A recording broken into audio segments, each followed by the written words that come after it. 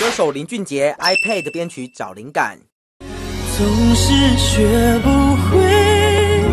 总是跟金曲歌王擦肩而过的林俊杰，今年金曲奖提名更是全落空。不过，除了爱唱歌、爱创作，本身更是个不折不扣的三 C 狂热分子，坐拥一拖拉库的三 C 潮商品。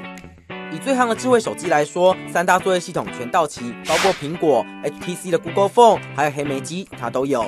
除了打电话之外，其实有太多的功能，就是拍照我也蛮蛮注重，所以我也会去研究说。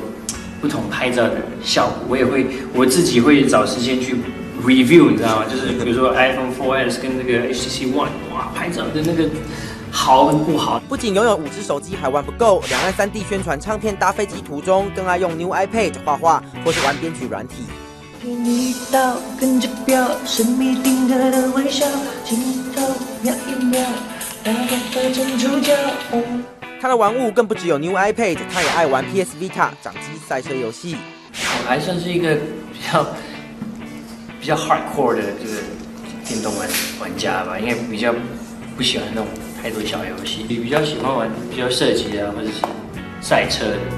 身为音乐创作人，听歌就如同生活必需品。他不爱用智慧手机听音乐，反而独钟用 iPod Touch 听歌，而且偏好搭配重低音效果十足的耳机。你会自己听自己的专辑吗？不会啊，因为我要检查，要检查自己做的哪哪个更好这样子。因为我会不断的去，去听，然后去找一些 reference，然后去去 compare。除了音乐外，他也专精于摄影，而且对于购买相机也很有自己的见解。单眼相机对我来说有点大厚重，那我我就是特别会去挑，比如说呃类单眼。玩三 C 已经是林俊杰空闲时最主要娱乐活动，不过最近开始筹备年底发行的新专辑。记得稍微冷冻一下这一箩筐的三 C 商品，可别瓜分创作的精力哦。东新闻样样都是顶级货报道。